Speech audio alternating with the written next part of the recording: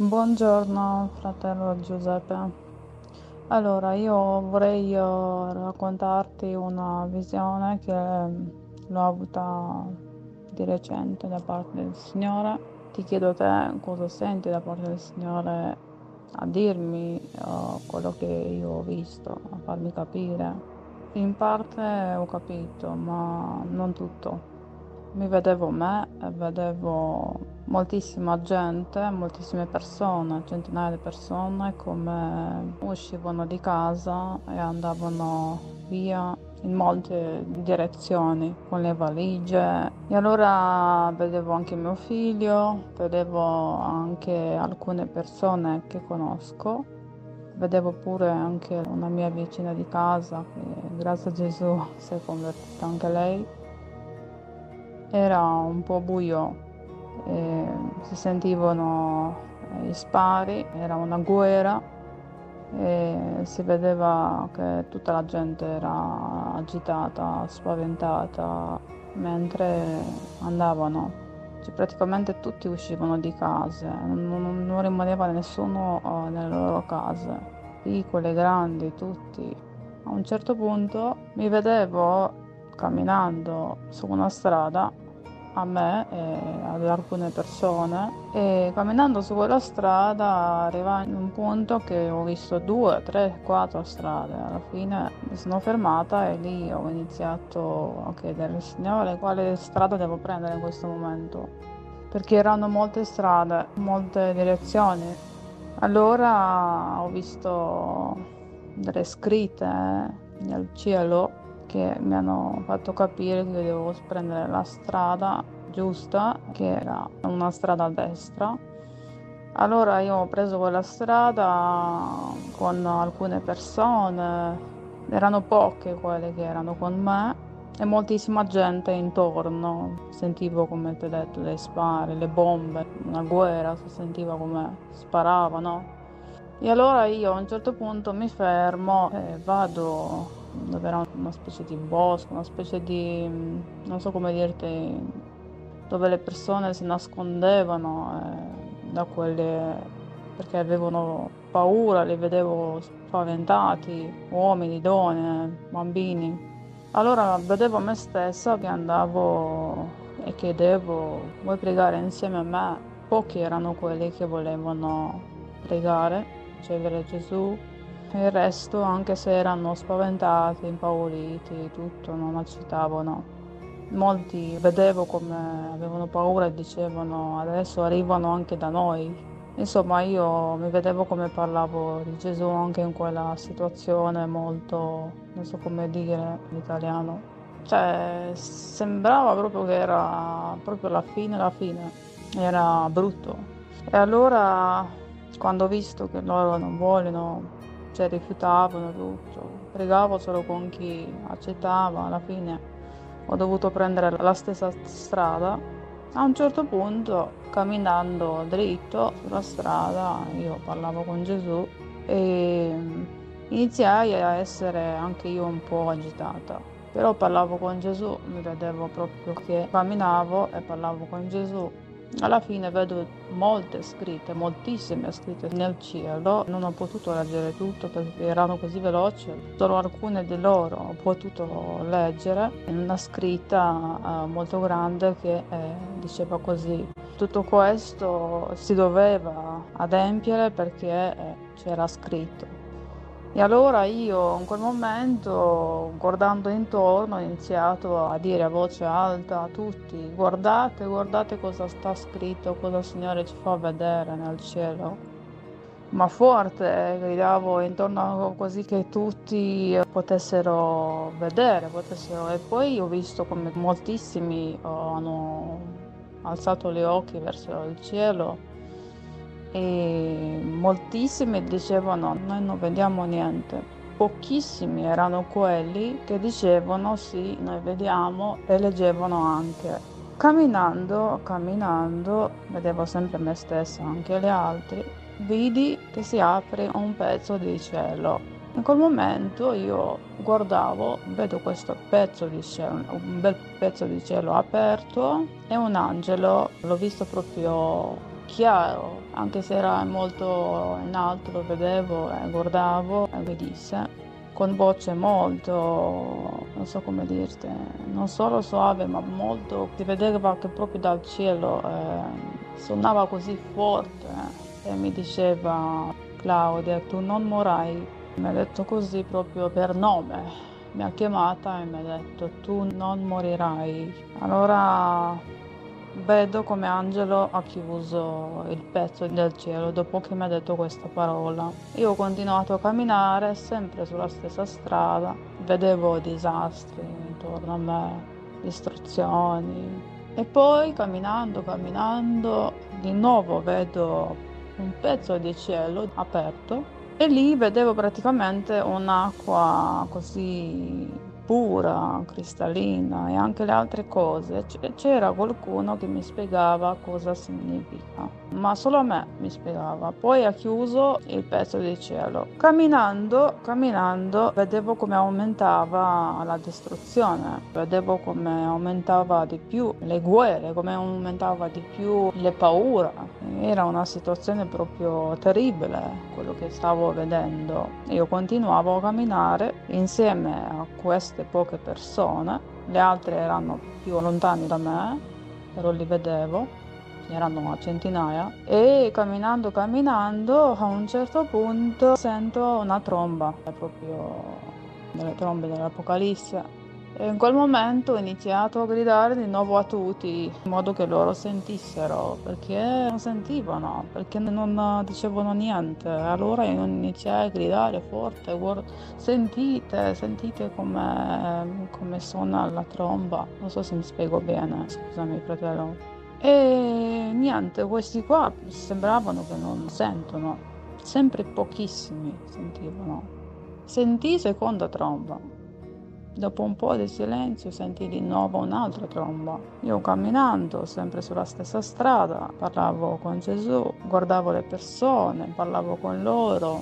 Poi di nuovo sentii un'altra tromba, cioè praticamente quando ho sentito un po' di più, eh, non posso descrivere adesso quante le ho sentite, però so che quando ho sentito l'ultima tromba ho iniziato proprio a a gioire, ad essere felicissima in quel momento e mm, lì capì che il Signore praticamente stava venendo.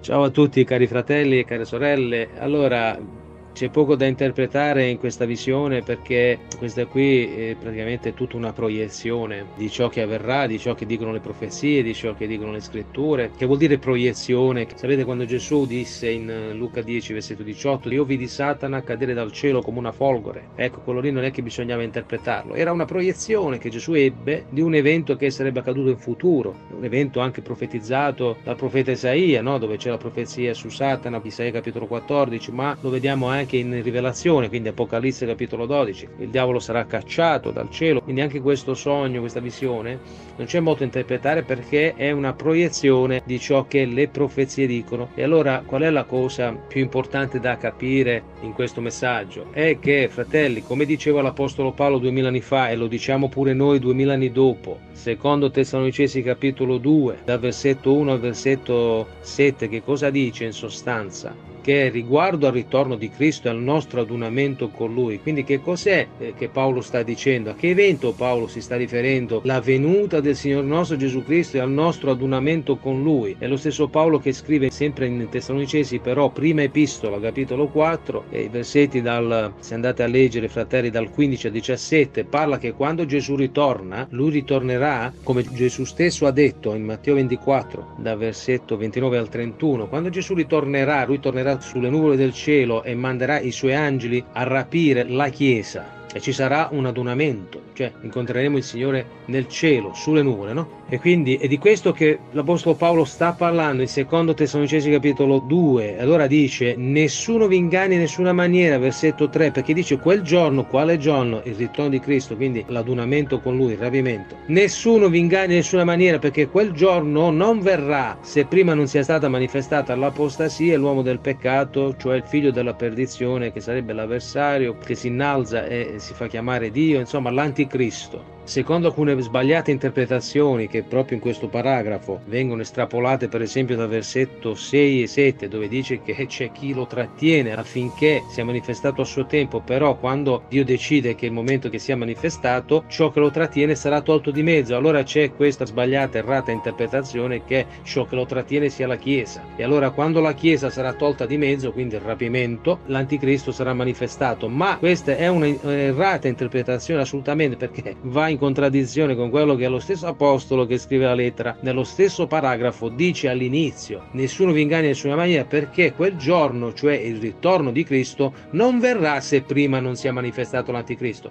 E allora come fa a manifestarsi l'anticristo mentre la Chiesa è stata già rapita, se invece Paolo dice esattamente il contrario, che Gesù non ritornerà prima dell'evento della manifestazione dell'anticristo. Allora noi sappiamo in Matteo 24, 29 Gesù parla della tribolazione, dal versetto 15 lo dice chiaro fino al versetto 21, vi sarà una grande tribolazione così grande quale non vi fu mai dal principio del mondo fino ad ora, né mai più vi sarà. Vedete che la sorella in questa proiezione, in questa visione, vede una grande devastazione che man mano che cammina eh, una, um, più aumenta la devastazione. Gesù parlava di una grande tribolazione e poi Gesù alla fine fa dei discorsi di stare attenti ai falsi profeti, eccetera. Insomma, poi arriva dove parla del suo ritorno. Ecco, siamo qui al versetto 21. C'è chi si chiede, ma rapimento quando sarà? Prima, dopo, durante? Perché c'è chi dice dopo, c'è chi dice prima, c'è chi dice durante addirittura. Gesù dice, versetto 29, dopo la tribolazione di quei giorni. Poi continua a parlare, il figlio dell'uomo ritornerà sulle nuvole, manderà i suoi angeli per il rapimento. Quindi quando, prima o dopo? Dopo la tribolazione, dice Gesù. Ecco perché vedete che queste trombe che la sorella sente suonare, noi vediamo che in Apocalisse vi sono sette trombe. Non riesce a contare quante trombe più o meno ha sentito, però eh, noi sappiamo che saranno sette trombe. Perché? Perché lo dice Apocalisse. Allora lei dice, quando io sento però l'ultima tromba, sento una grande gioia. Ecco perché? Perché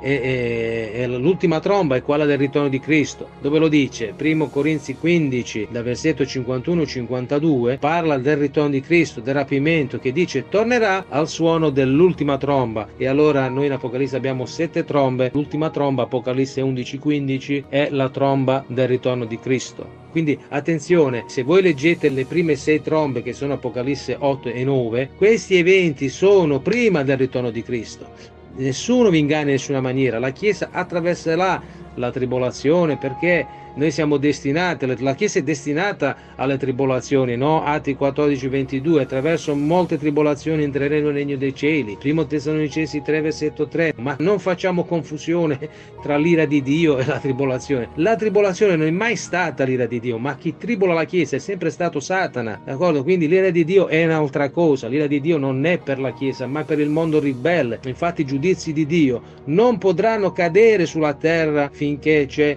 la Chiesa, appunto i suoi figli, ma dopo il rapimento, secondo anche le profezie, allora potranno cominciare i giudizi di Dio sulla terra, che sono le sette coppe che iniziano da Apocalisse capitolo 15. Però le sette trombe sono relative alla tribolazione, e quindi la tribolazione che cos'è? E non è altro che l'ira del diavolo, l'ultima grande persecuzione di Satana alla Chiesa prima del grande e glorioso ritorno di Gesù Cristo. E amen. Quindi nessuno vi inganni in nessuna maniera, come nessuna epistola, sia in scrittura, come se venisse da Dio, come se venisse dallo Spirito Santo, perché le scritture parlano chiaro, la Chiesa attraverserà la tribolazione. Infatti, parentesi ancora su, su questo discorso qui, metterò nella descrizione del canale un link dove parla uno studio tutto dettagliato sulla grande tribolazione, insegnamento dal Vecchio e Nuovo Testamento, dove parla del ritorno di Cristo, che la Bibbia dice chiaramente sarà dopo la grande tribolazione, d'accordo?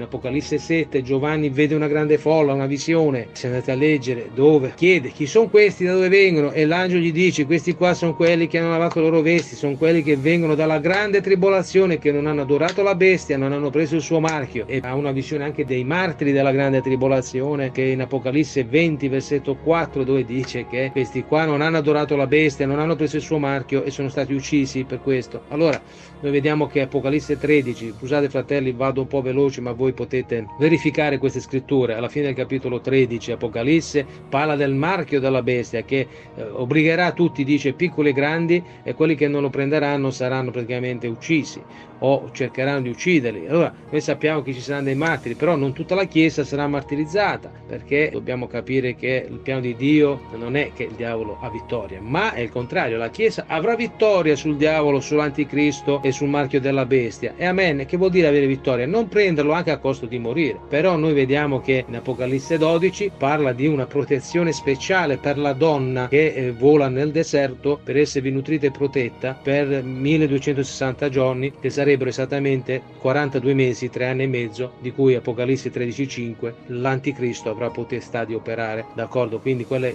3 anni e mezzo, 42 mesi sono la durata della grande tribolazione. Ok? Quindi Gesù ritornerà alla fine, alla fine, quindi dopo la grande tribolazione, fratelli, e nessuno vi inganni in nessuna maniera. Amen. Allora, come ci dobbiamo comportare? Come ci dobbiamo preparare? Vedete che in questa visione la sorella vede che prima di andare su questa strada, che poi lei racconta tutto, ci, si trova davanti a un bivio con 3-4 strade diverse. Allora, quale strada? Vedete che lei dice ho pregato il Signore poi ho preso la strada. Ecco, l'importanza di consigliarsi, di chiedere a Dio come mi devo muovere, perché bisogna sicuramente spostarsi, fratelli, uscire sicuramente dalle zone urbanizzate, dalle zone tecnologizzate. Abbiamo visto anche con l'avvento della pandemia, a un certo punto all'improvviso siamo tutti rimasti bloccati. Quindi è un esempio, è un addestramento, è stato il Covid, va bene? Anche col discorso del passaporto, che senza il passaporto non potevamo muoverci per niente, è un po' come, come una sorta di premarchio della bestia. Sarà così, fratelli? Allora è stato un addestramento, una prova, l'anticamera di quello che sarà. Perché se prima senza una determinata siringa non si poteva né lavorare né fare niente, dopo senza il marchio della bestia, fratelli, non si potrà fare proprio proprio nulla. E allora bisognerà trovarsi in un luogo dove Dio proteggerà. Come vedete anche la sorella cammina in mezzo al caos per un certo senso è protetta rappresenta anche la protezione della donna. Apocalisse 12 che è, non è tutta la chiesa perché è una parte di quella chiesa che sarà protetta cioè quelli che sono diciamo nella volontà di Dio perché quelli che non saranno nella volontà di Dio sono quelli che dice Apocalisse 13:5 e anche alla fine di Apocalisse 12 che poi va con le profezie di Daniele che l'anticristo distruggerà i santi farà guerra ai santi e li vincerà, d'accordo? Apocalisse 13, 5 fino al 7, che è un parallelo di Daniele 7, 21 e versetto 25. Scusate fratelli, vado veloce, però voi potete controllare questi passi nella Bibbia e controllate,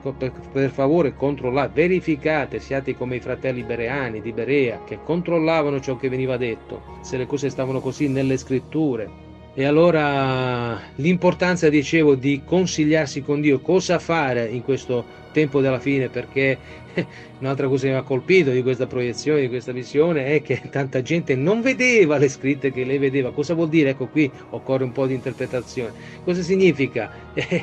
è che la gente comune, ma anche nel mondo cristiano purtroppo, nessuno si rende conto e nessuno osserva, nessuno capisce i segni dei tempi che sono sotto i nostri occhi, nessuno se ne cura, nonostante ci sono quelli come la sorella, chi sono questi qua? Sono diciamo i, i, i figli di Dio, quelli che eh, annunciano, profetizzano queste cose, non li ascoltano, non li dice noi non vediamo quello che vedi tu, non crediamo che succederanno queste cose, sapete quelli che rispondono in questa maniera. Quindi l'importanza di sapere cosa fare, quindi consigliarsi con Dio, come la sorella dice mi trovo davanti a 3-4 strade, ho cominciato a pregare e il Signore l'ha guidata ad andare in una strada. Quindi qual è la strada della volontà di Dio? È la strada del piano di Dio e vediamo che è importantissimo nella Bibbia, anche vediamo in primo Samuele per esempio capitolo 23, quando Davide era perseguitato da Saul, chiedeva a Dio se lui dovesse andare in quella città o in quel posto o non dovesse andare. Lui si consultava con Dio. Anche per esempio il secondo Samuele capitolo 2, voglio leggere il versetto 1 che è molto eloquente, molto chiaro. Dice, dopo questo Davide consultò il Signore e disse, devo salire in qualunque della città di Giuda. E il Signore rispose, sali. E Davide chiese, dove devo andare? E il Signore disse a Hebron.